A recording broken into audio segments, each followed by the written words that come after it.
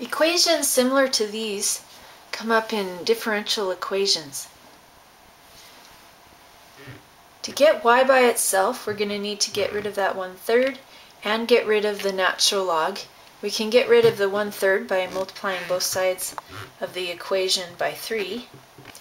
We can get rid of the natural log by using this rule. We have a to the log base a of x is just x. So our base for natural log is e. So we're going to exponentiate both sides of the equation with e as the base. So e to the ln of y gives us the y. For the right side, we're going to use this rule here, that if we have a sum in our exponent, we can change that to multiplication. So this is e to the 3 ln of x times e to the 3c.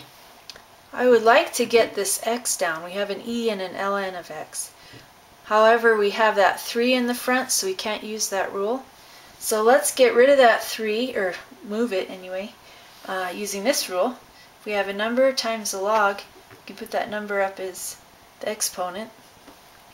So we'll have y equals e to the natural log of x cubed times e to the 3c. And now we can use this rule. So we'll have x cubed times e to the 3c.